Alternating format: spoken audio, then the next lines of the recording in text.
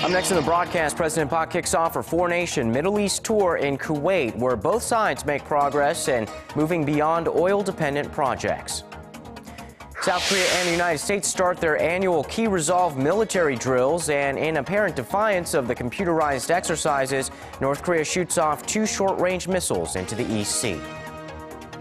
And Samsung Electronics unveils its new flagship smartphone line with flashy specs and design. The tech giant hopes to regain some of the lost market share to Apple's iPhone 6. Primetime News begins now.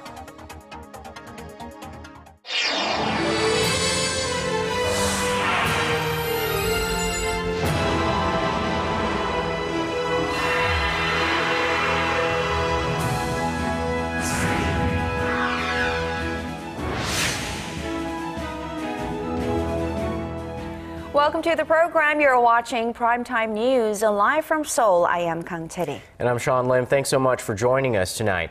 We begin overseas where the president and her delegation began her Middle East tour in Kuwait, where President Park held talks with the country's emir, parliamentary speaker, and prime minister. And a number of deals were signed to diversify the two countries' economic cooperation and help create inroads for Korean firms in this region. Our Choi Sun files this report from Kuwait City.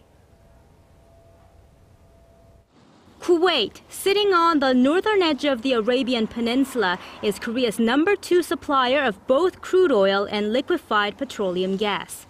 But like other Middle Eastern countries, Kuwait is seeking ways to reduce its dependence on petroleum by diversifying its industries. The Geun-hye administration, which has put forth its own plan to spur growth through reform and innovation, wants to upgrade the Korea-Kuwait economic cooperation while giving Korean firms new business and investment opportunities. On the sidelines of President Park's summit with the Kuwaiti Amir, the two sides signed a deal in which the state-run Korea Electric Power Corporation will supply power-deficient Kuwait with its smart grid technology system that can store renewable energy to meet a rising demand. This latest initiative will help Korea export energy to the region for a change. With the signing of other deals to send experts and share know-how, Seoul has opened the door for Korean companies to partake in Kuwait's national infrastructure projects. One Korean consortium anticipates winning more than half of Kuwait's $14 billion refinery project in the first half of this year, while other Korean firms are looking to win bids in a $22 billion subway construction venture. The two sides also decided to start working together in healthcare, particularly in medical staff training and hospital management. Kuwait is the only Gulf nation that has a North Korean embassy, and there are some 4,000 North Korean workers residing here. So it was important that President Park secured greater cooperation with Kuwait on resolving the North Korean nuclear issue and bringing stability to the Korean peninsula. Choi You-sun, Arirang News, Kuwait City.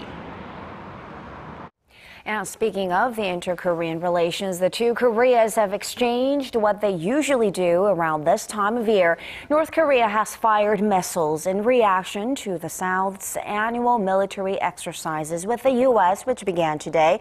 And Seoul was quick to condemn Pyongyang's hostile reaction. Our Kim Hyun-bin reports. South Korea's defense ministry condemned North Korea on Monday for firing two short-range missiles into the Sea earlier in the day, calling it a violation of UN resolutions, and warned Pyongyang that it will move swiftly to counter any future provocations. The two missiles are presumed to have been short-range Scud missiles with an approximate range of 500 kilometers. They were fired into the Sea from the western port city of Nampo, the ministry says the missile firing is probably the North's way of expressing its opposition to the South Korea-U.S. joint military exercises, which kicked off on the same day. Over 20,000 South Korean troops and around 12,000 American troops are taking part in the annual exercise, which consists of two parts. Part 1 is the two-week-long Key Resolve exercise, a computerized command post exercise aimed at enhancing the combined forces operations and strategy. Part 2 it's the eight-week-long Foal Eagle field training exercise that aims to enhance interoperability between Korea and the U.S. across all branches of the military during wartime. The annual exercises, which date back to the early 1970s, have long been a source of aggravation for the North, with Pyongyang calling the drills a rehearsal for a northward invasion. Seoul and Washington say the exercises are defensive in nature. Last year, North Korea protested the drills by launching a series of roughly 90 Scud missiles and long-range rockets. Kim Hyun-bin, Arirang News. Senior diplomats from UN member countries, including South and North Korea, are expected to have a heated debate this week in Geneva over Pyongyang's human rights abuses. And that won't be all on the agenda, as Seoul will also likely push forward with the denuclearization issue. Our Connie Kim has more.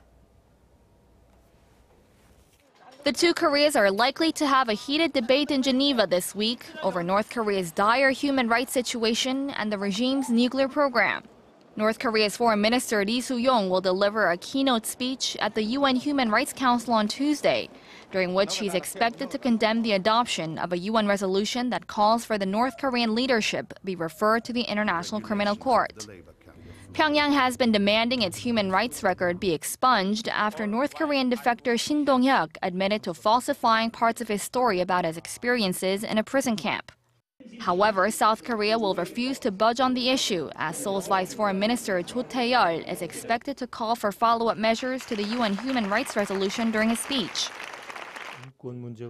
Human rights is a very sensitive issue for the North Korean regime. It seems as though North Korea will use all means and efforts to dodge the issue. The clash is likely to continue during talks over Pyongyang's nuclear program at the Conference on Disarmament. Echoing his comments from the previous UN address, the North Korean minister will almost mm-hmm. certainly defend his country's nuclear program by stressing it's necessary for national security. The nuclear issue will be resolved if and when the threat to our sovereignty and right to life is removed.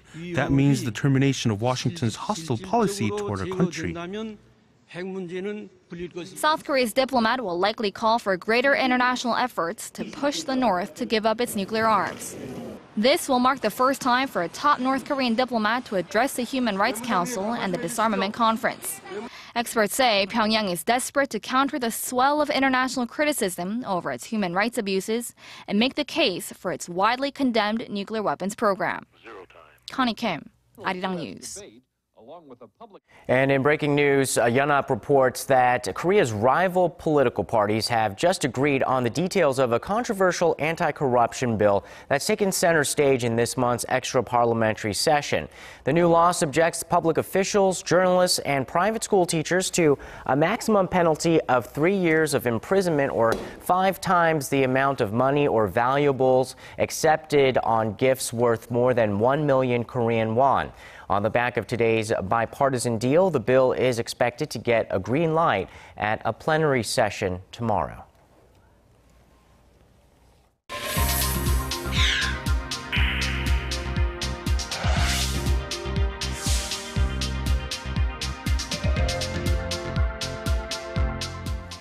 Korea has posted a current account surplus every month for almost three years now. The Bank of Korea says January surplus amounted to some 7 billion US dollars. Although this is 80 million dollars short of the previous month, Korea is on path to breaking its record of the longest surplus streak set back in 1986. It's not all good news though, as a bigger drop in imports than in exports. It's what's driving the surplus trend in recent months. In January, imports plunged almost 17% on the back of falling global oil prices. And another data points that suggests a, uh, a, slow recovery for Korea. January industrial output dropped 1.7% compared to the month before. This is the biggest margin in almost two years. The government cites a base effect since December production in the mining and manufacturing sectors shot up by the most in more than five years. But output in these sectors in January came down by 3.7% percent falling the most since the global financial crisis in 2008. Samsung has unveiled its latest Galaxy smartphones. They come armed with wireless, wirelessly charging batteries and a mobile payment system. Our Shin Se-min has this report. Could this be a game changer for Samsung Electronics? The specifications certainly do seem to make a strong case for that. Introduced Sunday at the Samsung Unpacked event ahead of the Mobile World Congress in Barcelona, the brand new Samsung Galaxy handsets have a better grip on both design and composition. These are the most advanced pop smartphones in the world with capabilities no other phone can match. No other phone can match. But that's not all. To use a technical engineering term, they also look really cool.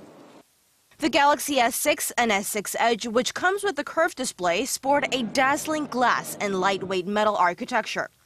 Both have a faster processor, a better camera, and most importantly, a fast charging battery. Samsung ditched a replaceable battery from the S5 and added a wireless feature. We were the first brand ever to introduce wireless charging that's built in. It's also much faster. The new Galaxy phones only need a 10 minute charge to offer 4 hours of battery life. Totaling it up, Samsung says it'll take the S6 roughly half the time to charge as the iPhone 6. The phones are also loaded with a mobile payment system called Samsung Pay. Like its Apple counterpart, Samsung Pay uses NFC technology. But unlike Apple, it also has magnetic secure transmission technology developed by LoopPay, which allows users to make mobile payments at most places where plastic cards are already accepted. With the flashy new handset duo, the company is hoping to lift its flagging sales and climb back to the top of the global smartphone market after having lost out to Apple last year. Shin Se-min, Arirang News. And speaking of smartphones, mobile banking has made life much more convenient, but many still struggle with the crucial first step in gaining access to their account online authentication. Starting this year, that process could be as simple as touching your credit card to your smartphone. Reports say Korean financial institutions are preparing to launch the new method, which uses near field communication technology within the first half of this year. If all goes as planned, people won't have to deal with the hassle of verifying each transaction using a security code from their bank. Whether you're a fan of the idea or not, implantable ID chips in humans are no longer the stuff of science fiction, at least not for those working at an office complex in Sweden. Chip manufacturers assure us these devices do no harm to the body, but there are still concerns over privacy and security. Kim Min-ji has the details. Forget your keys or leave your company ID card at home? That's no longer a problem for workers at Epicenter, a high tech office complex in Sweden, as workers can now access things with just a wave of their hand. Their key is a 12mm radio frequency identification chip implant. Uh, it felt pretty scary, but at the same time, it felt, felt very modern, very 2015. Employees with the chip implant can get into the office and unlock the photocopier. They can also exchange business cards with people they meet by swiping a hand over their smartphone. Although the chip's functions are limited at this stage, the CEO of the complex expects much more. Payments is, I think, one area. Uh, I think also for healthcare reasons, that you can sort of uh, uh, communicate with your doctor and, and, you can get data on what you eat and, and, and sort of what your uh, physical status is. The chip implant is optional for workers in the office complex. The manufacturer says it poses no harm to the human body and will not set off metal detectors and is also safe during MRI scans. But while it may seem innovative and tech savvy, some have voiced concerns that it could be an invasion of privacy and pose a threat to a person's security. Kim Min-ji, Arirang News.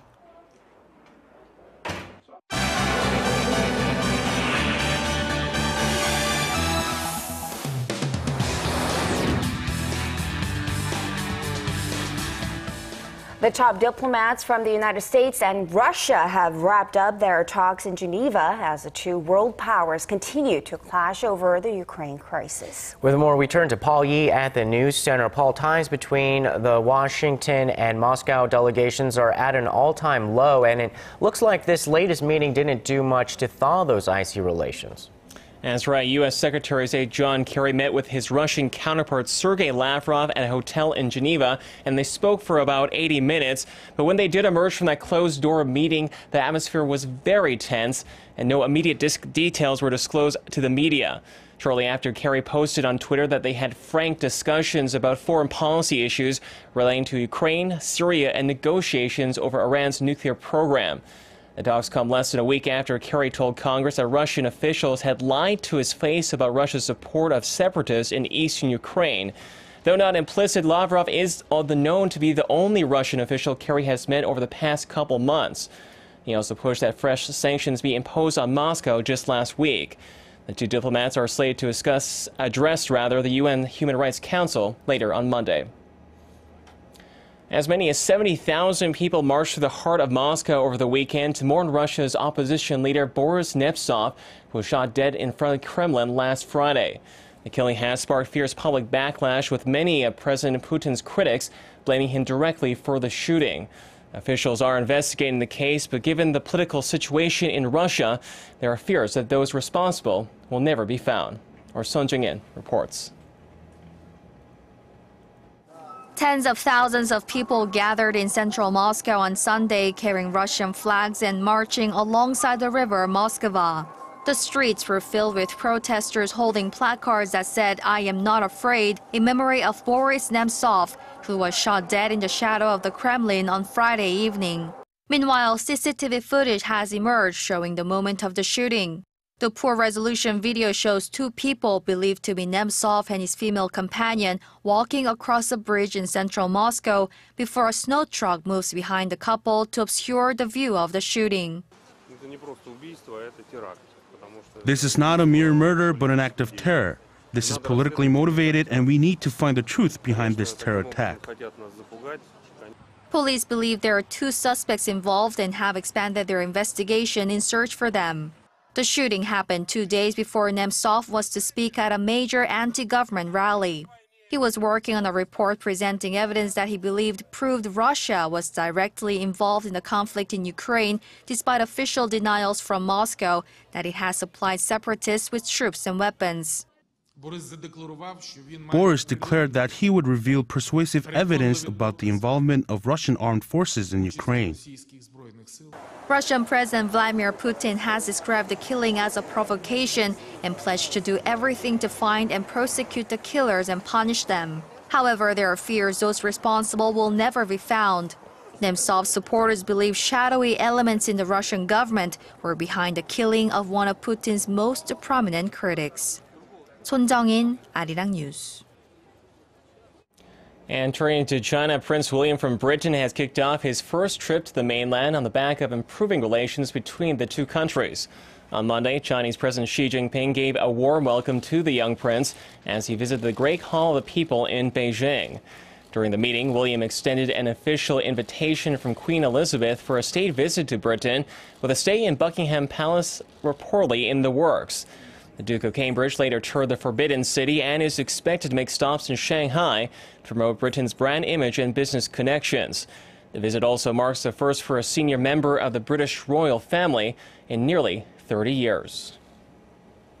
And finally, the American space company SpaceX has successfully launched two satellites into Earth's orbit.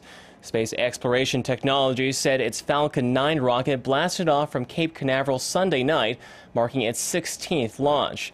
The 68-meter rocket was carrying communication satellites from the Asia Broadcasting System and the French telecom provider Eutelsat. It's the first time the private space company founded by billionaire Elon Musk has embarked on a dual launch of satellites into geosynchronous orbit. And that wraps up our look at international stories for now. I'll see you back here tomorrow night.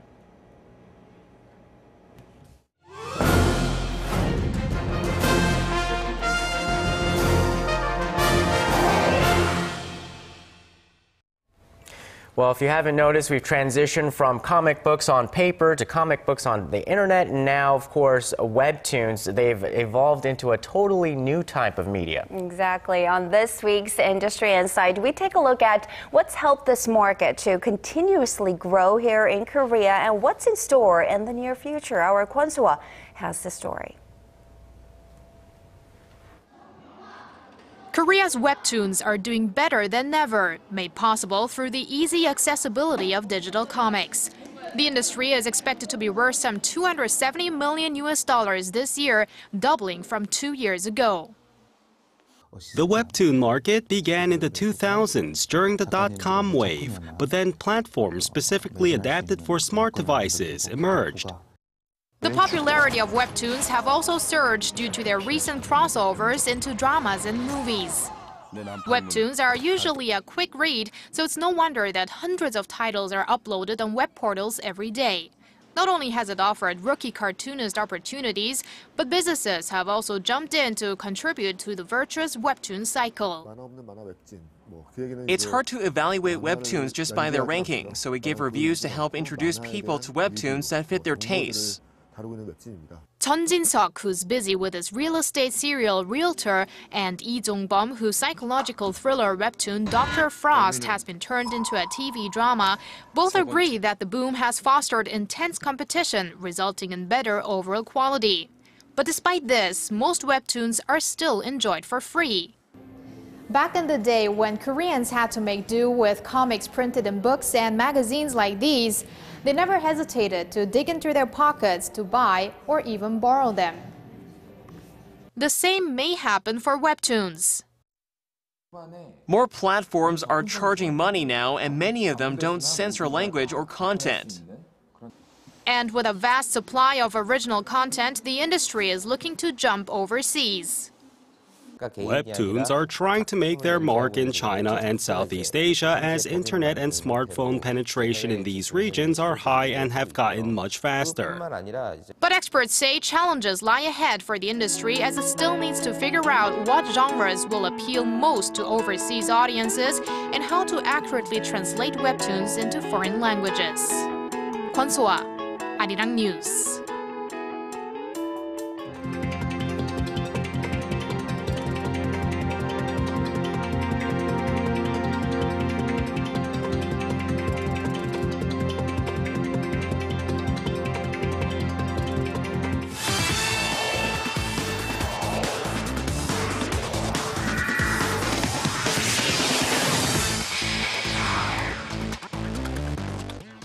Hello, everyone. I'm Stephen Che with the Sports Brief.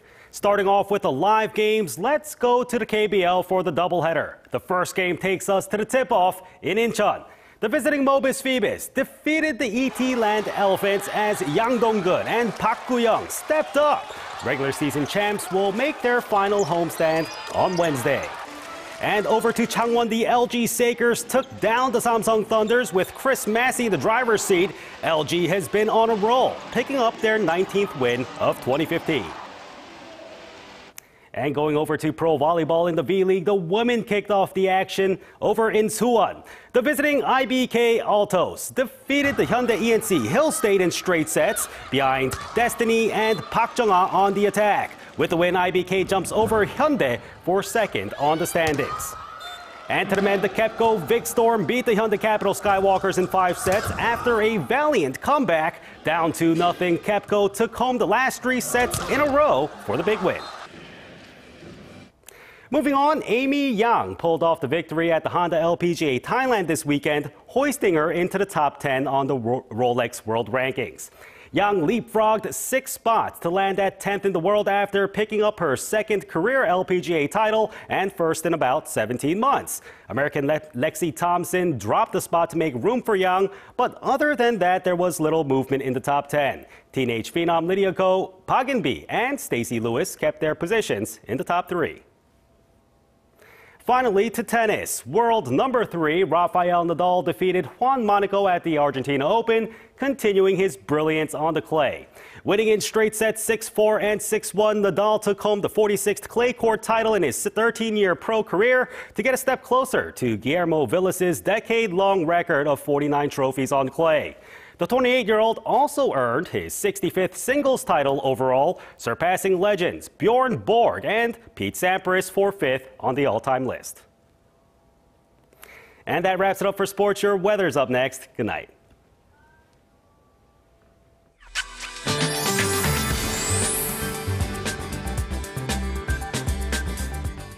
Hello, I'm Kim Bo-kyung with your weather forecast. Yellow dust is back and it's remaining at higher than normal levels, mostly in the capital regions, and more is set to move in from China on Tuesday evening.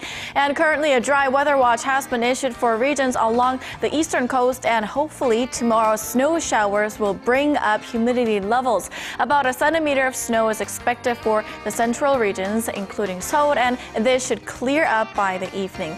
Looking ahead, mild conditions are in store through tomorrow morning, but the cold snap awaits after tomorrow. And keep in mind that strong cold winds should make things feel much colder than the actual numbers. On to tomorrow's readings. The daytime high here in the capital hits 6, Daegu hits 10, Busan reaches 8. Meanwhile, Jeju reaches up to 12, Dokdo hits 8, Mount Kumgang minus 1. Those are the updates I have for you now. I'll see you soon. And that's primetime news for this Monday. I'm Sean Lim. Thanks for watching. And I'm Kang. Have a great evening, everyone. We'll see you again soon.